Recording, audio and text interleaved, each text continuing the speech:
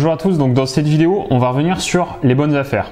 J'entends souvent dire que en fait, on trouve jamais de bonnes affaires et que les bonnes affaires ne sont jamais euh, dispo au final pour les amateurs, pour les débutants et que pour trouver des bonnes affaires, il faut absolument avoir un réseau un peu obscur, il faut absolument aller chercher euh, euh, eh bien, euh, des, produits sur ce qu'on appelle le, marché donc off market, c'est-à-dire au final il faut voilà connaître des agents immobiliers, il faut être dans le milieu, il faut vraiment être au cœur de ce système pour pouvoir trouver des bonnes affaires. Alors certes, quand vous êtes professionnel de l'immobilier, quand vous êtes amené à travailler avec des agents immobiliers, à travailler avec des professionnels de l'immobilier, vous allez effectivement avoir accès à d'autres offres, vous, avez, vous allez donc avoir accès à d'autres produits que non pas forcément le commun des mortels. Ça, je ne vais pas le nier et au final, je le vis au quotidien puisque aujourd'hui, dans plusieurs villes de France, en tant que chasseur euh, immobilier, euh, j'ai accès effectivement à, à, ce type de produit.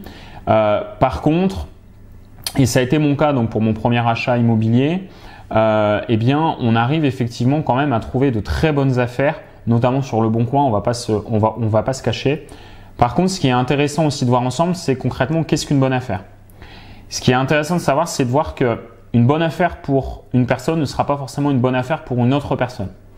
Je vais prendre un cas concret. Admettons que par exemple, là, voilà, j'achète euh, mon quatrième immeuble de rapport euh, et qu'au final, les trois premiers ont un impact très important sur ma fiscalité, notamment sur mon imposition sur le revenu.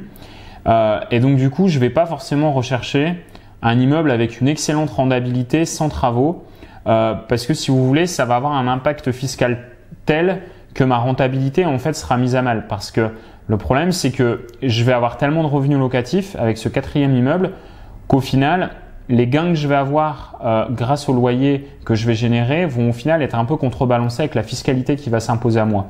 Et donc dans mon cas, je vais peut-être par exemple plus chercher euh, un bien un peu délabré, un bien au final que 90% des, euh, des jeunes investisseurs ne vont pas forcément vouloir. Et moi, je vais aller chercher vraiment euh, euh un plateau en lambeaux euh, où je vais refaire par exemple trois appartements dedans, ou alors un immeuble où il y a effectivement une toiture à refaire, une charpente à vérifier, voilà, des chaudières à remettre, voire toute une installation électrique à refaire. Ça, pour moi, ça va peut-être être justement la bonne affaire. Ça va être justement le coût, le coût exceptionnel. Parce que grâce aux travaux que je vais faire, je vais effectivement pouvoir les récupérer et avoir des déductions d'impôts. Et donc au final, moi, je vais peut-être chercher eh bien, euh, euh, un produit avec beaucoup de travaux. Alors que vous, admettons, voilà, c'est votre premier investissement, vous payez pas beaucoup d'impôts sur le revenu, vous allez chercher un immeuble très propre, rentable, donc avec une rentabilité supérieure à 10%. Euh, et donc du coup, euh, vous allez effectivement chercher ce type de bien. Donc ça, c'est important, vous voyez, c'est-à-dire qu'il n'y a pas une bonne affaire intrinsèquement bonne affaire. Il y a une bonne affaire en fonction de votre objectif, en fonction de votre plan de jeu et en fonction de votre plan d'investissement. Donc d'ailleurs, ce qui amène aussi euh, au fait d'avoir un plan détaillé de votre investissement et de savoir concrètement ce que vous recherchez parce que euh, ce n'est pas effectivement en regardant trois vidéos sur YouTube euh, de personnes qui vont vous dire que vous allez devenir le roi du pétrole avec l'immobilier que derrière vous allez effectivement eh bien trouver des bonnes affaires. Donc ça c'est une chose. Deuxièmement, comment trouver des bonnes affaires? Les bonnes affaires sur le bon coin, elles ne sont pas toujours évidentes. Donc ce qui va être aussi intéressant avec l'expérience, c'est que vous allez pouvoir voir des bonnes affaires là où 95% des gens voient au final eh bien un bien pas du tout intéressant. Je vais prendre un exemple, par exemple, sur des marchés qui sont assez tendus comme Lyon, euh, puisque j'habite effectivement euh, un petit peu en dessous de Lyon, donc je, vois, je connais des investisseurs et je vois un petit peu comment ça se passe. Euh, J'ai un collègue notamment euh, qui, qui, par exemple, a acheté un garage et on a refait un appartement saisonnier. Aujourd'hui, la question elle est là. Est-ce que vous, quand vous allez sur le bon coin et que vous voyez un garage, est-ce que vous voyez le potentiel d'aménager ce garage en faisant un changement de destination pour faire un appartement et derrière le mettre en location saisonnière avec une rentabilité exceptionnelle?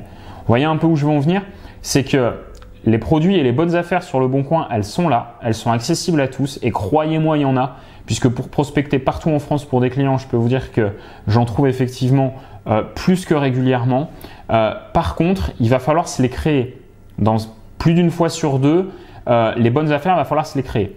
Sinon, si vous avez une pépite sur le bon coin sans aucun travail et que la pépite est en ligne sur le bon coin, généralement, elle va effectivement pas rester longtemps puisque vous avez des personnes euh, qui vont mettre des alertes pour eh bien, être informées de, toutes les nouvelles offres qui vont être publiées sur le Bon Coin. Et donc quand ces personnes-là, investisseurs aguerris, euh, voient euh, vraiment une pépite sur le bon coin, croyez-moi, dans la journée, l'offre d'achat, elle, est déjà, elle est déjà présentée à l'agent immobilier.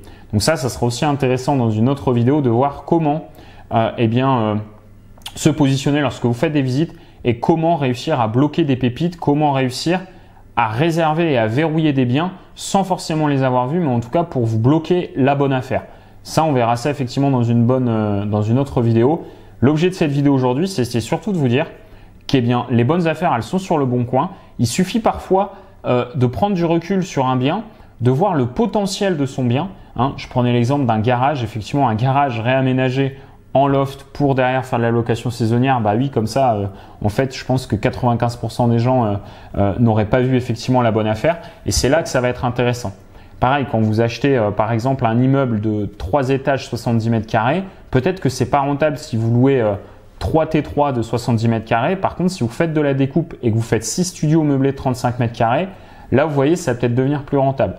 Donc ça, ça sera hyper important en fait de connaître toute la panoplie euh, des euh, possibilités d'investissement immobilier pour arriver à prendre du recul à chaque fois que vous voyez une annonce. C'est-à-dire qu'à chaque fois que vous voyez une annonce, vous vous dites est-ce que c'est rentable en saisonnier? Est-ce que c'est rentable en colocation? Est-ce que c'est rentable en location nue avec travaux? Est-ce que c'est rentable en achat-revente? Est-ce que c'est rentable en meublé étudiant vous voyez, voilà.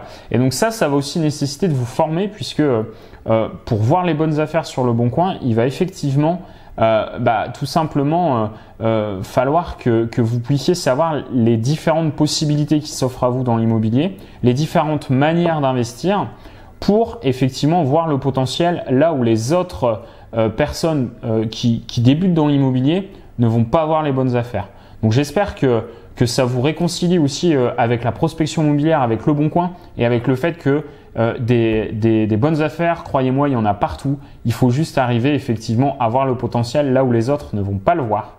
Donc j'espère que, que, ça c'est compris. Je reste à votre disposition si vous avez des questions justement sur ce sujet. N'hésitez pas à commenter cette vidéo. N'hésitez pas d'ailleurs à, vous abonner si ce n'est pas encore fait. Et si vous n'avez toujours pas reçu euh, mon e-book gratuit de plus de 60 pages sur les investissements euh, multiples, c'est-à-dire investissement immobilier, investissement boursier et placement alternatif, je vous invite donc à cliquer sur le lien qui est en dessous de cette vidéo pour recevoir votre ebook gratuit. Et je vous dis à bientôt pour de nouvelles vidéos.